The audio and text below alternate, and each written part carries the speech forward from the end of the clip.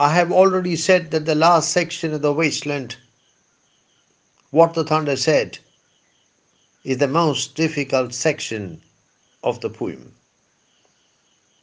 What the thunder said, or much of what the thunder said, was written by T.S. Eliot in Lausanne, the Swiss city on the shores of Lake Geneva, where the poet was recovering from a nervous breakdown, from a psychological breakdown.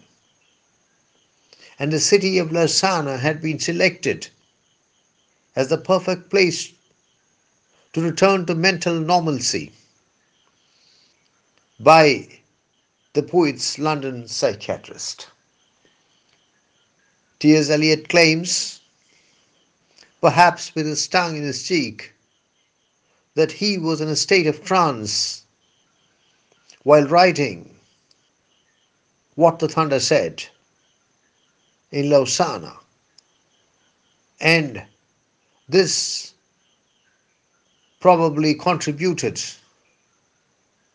towards making what the thunder said the most difficult section of the Waste Land. It is to be conceded that T.S. Eliot has provided the last section of the Waste Land, perhaps the greatest section of that great poem, the final section of the Waste Land, what the thunder said, with a magnificent opening. The first part of that section comprises nine lines, just nine lines. But using those nine lines, those rather short nine lines, the poet creates a graphic descriptional picture of the events leading to the crucifixion of Jesus Christ and also indicates the position of Jesus Christ in the contemporary world, in contemporary society. It must be remembered that the strokes are rapid, the strokes are deft, and as a result, the descriptional picture is more a pencil sketch then a watercolor or an oil painting. We are told of torchlight, sweaty faces, frosty silence, gardens, agony, stony places, shouting, crying, prison, palace, reverberation, thunder of spring over distant mountains. It has to be observed that the Waste Land here closely follows the narratives offered by the four canonical Gospels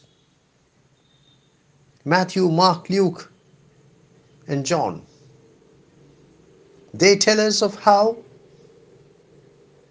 Jesus was arrested by the temple guards in the Garden of Gethsemane at the foot of the Mount of Olives in Jerusalem, and how the guards came with an escort of Roman soldiers. How Jesus was taken before the Sanhedrin, the Jewish judicial body, how he had to stand trial before the Sanhedrin, how he was detained there, and how he was taken to Pilate, the Roman governor of Judea, and how he was finally crucified on Mount Calvary. It is perhaps this crucifixion that is alluded to as of thunder offspring over distant mountains. In fact, Mount Calvary was not very far from Jerusalem. It was quite close, it was just outside Jerusalem. But the poet calls Mount Calvary distant mountains because in today's world,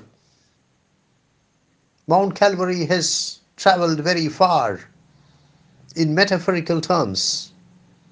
And it is indeed a distant mountain as far as contemporary society, as far as the contemporary world is concerned.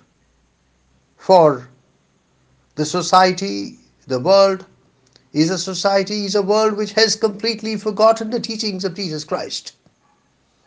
In John 14 6, Jesus proclaims, Jesus famously proclaims, I am the way, the truth, and the life. But today, that Jesus is dead. What shall we do if the ultimate source of all spiritual life itself ceases to exist? He who was living is now dead. We who were living are now dying. Understandably, naturally, our society is a dying society. Our civilization is a dying civilization. Our world is a dying world. The crucifixion of Jesus did not result in his real death because he continued to live after he was crucified. And as he himself said, he was the way, the truth, and the life. But today, in 1921, Today, in post Great War Europe, Jesus is certainly dead. And as a result, we ourselves are dying. The last line of the part, which consists of just four words, a rather short line, with a little patience, baffled me when I read The Waste Land for the first time. But now I think I understand it somewhat. I understand the import of the line somewhat. With a little patience. The poet is trying to say that we are patient with ourselves. We have patience not to reach spiritual attainment, but to suffer the consequences of our spiritual death. We have enough patience to pay the price of our spiritual death caused by our decision to abandon the Son of God.